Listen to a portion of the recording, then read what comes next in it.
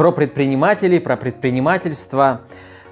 А, большинству эта тема предпринимательства, бизнеса интересна начинающим. Опытным предпринимателям у них уже есть бизнес, у них стоят конкретные, практически реальные проблемы. Проблемы роста, проблема нехватки клиентов, проблема персонала, проблема расширения, проблема нехватки денег, э, маленькая прибыль, делегирование. То есть у них есть конкретные практические проблемы. И мне не интересно в общем о принципах предпринимательства, потому что они все это знают, они все это применяют в своей ежедневной практике. А вот начинающие, те, кто работают в, э, на наемной работе, я был такой же, я долгое время работал на наемной работе и вообще не имел представления. Хотя вокруг меня были предприниматели и знакомые предприниматели, но у меня все, что это какой-то космос, это что-то, это какое-то космическое действие, что предприниматель, значит он где-то взял какой-то что-то, у него был капитал, и он как-то это что-то, э, как-то вот у него возникло это дело. Вообще, как туда залезть? не, я не понимал. Я ничего не знал, я, я работал на наемной работе, все читал, покупал эти книжки, Киосаки, Брайан Тресси, все читал их. А, ну вот я вот в робе, э, в красной, э, в красной жилете, какой-нибудь кепке или зимой в шапке, сижу в свободное время на тепловозе, внутри тепловоза или рядом там с тепловозом, где-нибудь там на какой-нибудь железке, на железной дороге. И сижу, читаю какого-нибудь э, трансерфинг, Брайан Трейси, все, как увеличить 7 правил э, как, каких-нибудь э, счастливых людей, 8 навыков суперспособностей. Ну вот, вот из этой, вот все вот это читал. Э, как инвестировать, э, Киосаки, как вложи в один дом.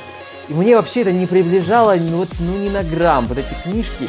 Единственное, что надо мной, надо мной всегда смеялись, э, говорили, что да, что ты там читаешь, что, типа вот у нас работа, а, зарплата, аванс, а я постоянно с книжкой, какой-нибудь книж, вот какой такой вот э, книжный маньяк.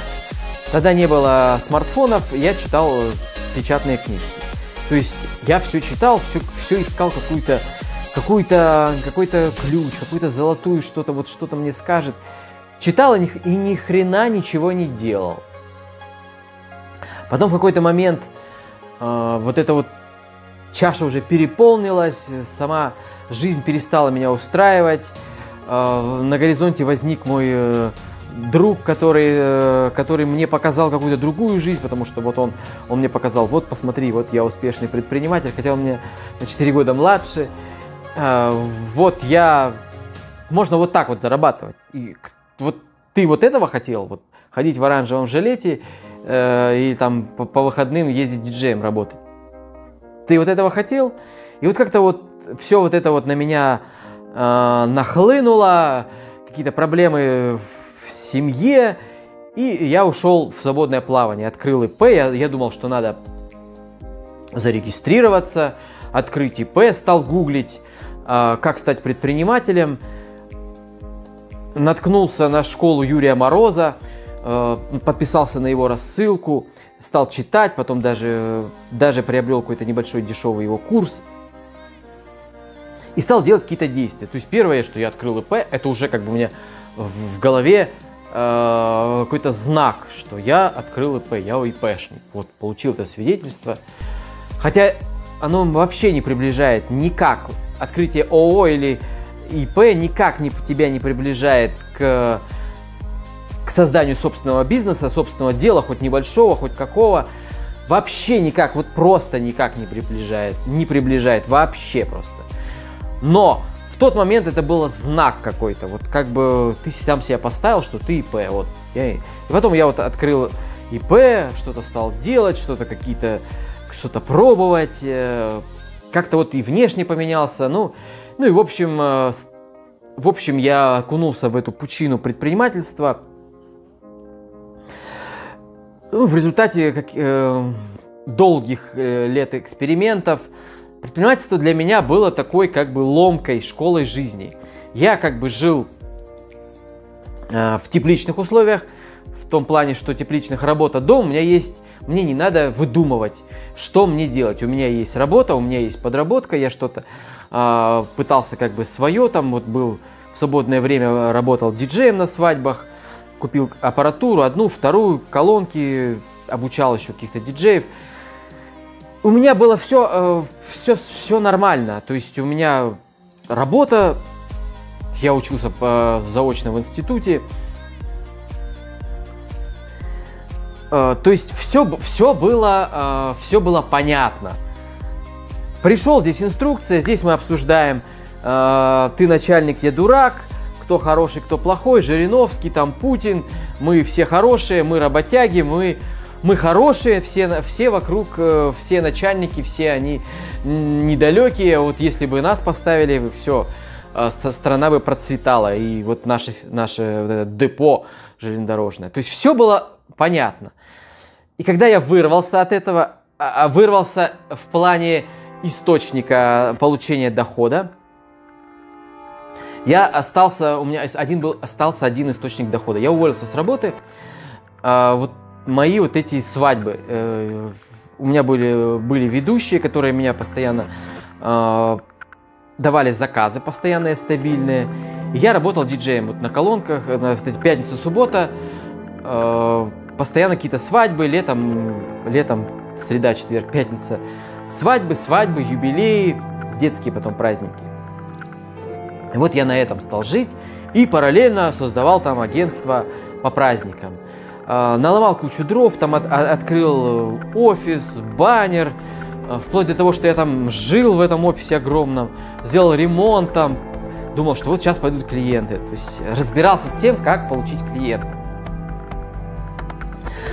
А, ИП вот это вот за ИП платил, потом, а, потом перешел в банальную сферу, вот сфера услуг, бытовых услуг, ремонт компьютеров, ремонт квартир, э, сантехники. И тогда вот пошли деньги, пошли деньги, когда банальщина началась, когда стал делать такие вещи, которые нужны людям. Конкурентная область, где есть э, прибыль, где есть спрос, огромный спрос пошли деньги первые, и в более-менее там за несколько лет это все выросло в фирму, какие-то обороты пошли. То есть вот, вот с этого, э, но началось все с того, что у меня было представление о предпринимательстве. И у всех наемных предприним... э, рабочих, работников, менеджеров представление о предпринимательстве как о чем-то таком, что вот у тебя есть бизнес, вот как типа корова какая-то, и вот ты ее постоянно доишь, все о, у него есть бизнес, вот бизнес приносит сотку там. А теперь я понимаю, что такое бизнес приносит сотку. Я понимаю, что такое бизнес приносит 100 тысяч чистыми я, прибыли. Э, чтобы, я понимаю, что чтобы э, вывести с нуля бизнес без денег, э, путем экспериментов, постоянных экспериментов вырасти до 100 тысяч, то есть нужно как бы, ну, если ты нулевой уровень, то ну хотя бы пару лет там. А теперь я понимаю, что такое. Раньше и у большинства э, вот работников у них понимание такое, что есть бизнес, он приносит. Вот есть сайт, он приносит что-то. Он сам по себе работает. Теперь я понимаю, что бизнес не работает без внимания. Он просто не работает. Либо он работает э, плохо, либо он, да, и даже большой бизнес не работает без внимания. То есть внимание предпринимателя постоянно на его детище, постоянно улучшение, рост, рост, рост, рост, рост. По-другому никак. Это не, это не нечто стабильное, это не какой-то камень, который, который просто приносит э, деньги, как вот в сказке копытцам. Э, олень делает копытом об землю и деньги идут. Все, вот стабильного. Все, Пожалуйста, нет, бизнес это, это дело, это механизм, который приносит прибыль в результате решения каких-то общественных проблем. В обществе у людей есть какие-то проблемы, предприниматель видит эту проблему, создает механизм по решению этих проблем, участвует в этом в механизме, он выполняет какую-то функцию. У предпринимателя, конечно же, очень много функций. То есть если я был э, наемным рабочим, я просто выполнял инструкцию. Да, у меня была куча начальства, у меня постоянно были какие-то проверки, потому что я работал в области движения э, поездов, постоянно меня проверяли, мне должно быть здоровье, э, голова э, хорошо работать, память и выполнение инструкций. Все. Мне ничего не надо было выдумывать. Я, от меня, мне было просто вот мои руки, ноги, моя голова, все, моя речь. Я продавал э, свой труд за деньги. У предпринимателя, конечно, гораздо шире. Он должен быть, в первую очередь, э, предприниматель должен понимать, что такое продажи, что такое клиенты, откуда они берутся в каждой сфере, э, в услугах, в больших, в мелких, средних чеках. Э, принципы продажи немножко разные. То есть, в общем, в общем, надо продать. То есть продажа это всегда манипуляция, абсолютно. Это тонкая, э, тонкая такая манипуляция, создание образа, создание работы с клиентом. Э, вот, вот это, но это манипулирование с помощью текстов, слов, э, общения с клиентом, предоставление информации ему. Есть шаги. Предприниматель должен быть продажником. То есть он должен уметь сам продавать. Это не значит, что он должен уметь обзванивать всех и предлагать.